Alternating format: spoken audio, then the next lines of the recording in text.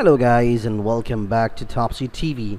Julianna Farrait was a significant force in her husband's life and constantly stood by his side as he became famous for being an organized crime boss and author and a movie consultant her life changed. In 2007, her husband's life was a subject of the movie American Gangster, which was nominated for two Oscars and three Golden Globes among others but won the Empire and Satellite Awards. This is a very little information about Julianna before she met her husband but she was born in Puerto Rico around 941 and lived a relatively anonymous life. She was a beautiful country girl with simple tastes.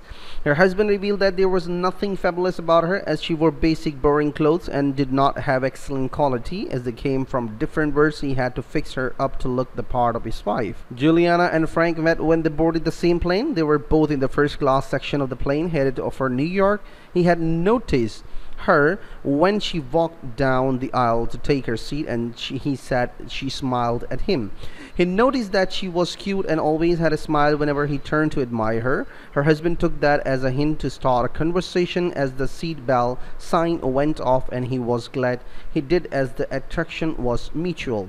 On January 28, 1975, the NYPD DEA strike force carried out a surprise raid in Frank's Teaneck, New Jersey house and in Julia's panic, she reportedly screamed, Take it all, take it all. While screaming, she threw several suitcases with over half a million dollars belonging to her husband out of the window.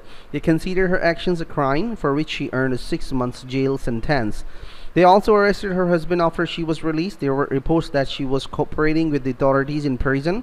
These reports, which she denied, put their family in danger. The authorities had to protect Frank's family by putting Julianna, Francine, and his son from another relationship in the federal witness protection program for a year in uh, New, New Mexico. In 2010, Julianna was caught breaking the law again in her 70s. The police had arrested her for trying to sell cocaine at a hotel in Puerto Rico. The court charged her with the conspiracy to violate narcotics law as there was a recorded conversation where she allegedly told an informant she had drugs to sell. She once revealed that she has always attracted to danger, mistaking trips and mis-owing expensive things. She believed that money was essential and could buy happiness. Frank Lucas died at 88 on May 13, uh, 2019. His nephew, Aldwan Leicester, Lassiter confirmed his death, revealing in a phone interview that he died of natural causes, despite reports stating that Julianna died before her husband and one of his son's pictures showed her saying goodbye to him at his funeral.